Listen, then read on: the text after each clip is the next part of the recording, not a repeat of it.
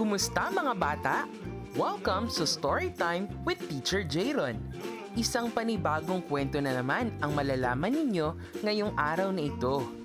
Ang libro na aking babasahin ngayon ay pinamagatang... Si Jan, ang mausisang pawikan. Kwento at guhit ni Joe Mike Tejido mula sa Anvil Publishing.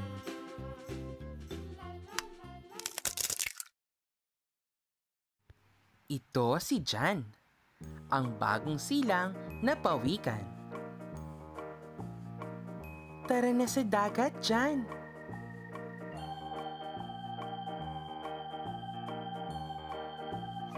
Ano kaya ito?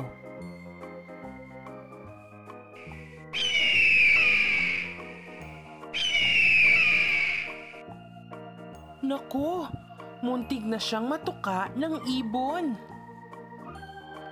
Tara na sa dagat dyan.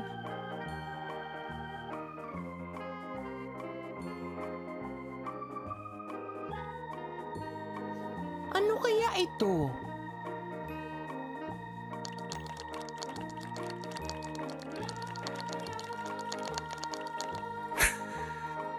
Naku! Muntik na siyang masipit ng alimango. Tara na sa dagat dyan. Ano kaya ito?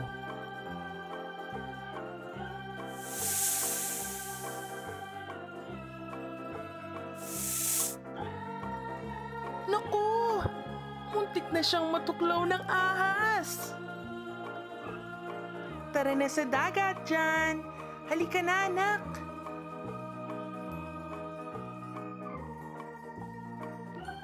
Kumusta? Sino ka naman?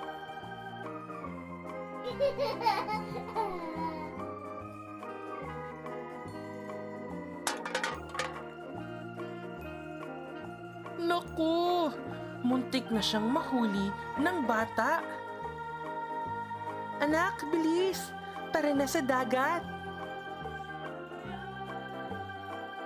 Jan, malalaman mo rin lahat yan. Natatakot po ako.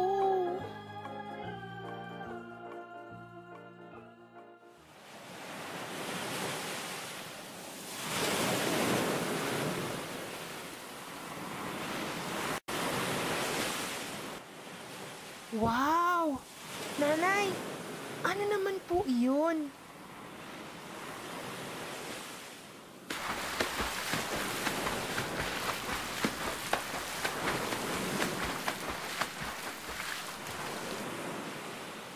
Iyan ang dagat, anak. Wow! Ang ganda naman ng dagat!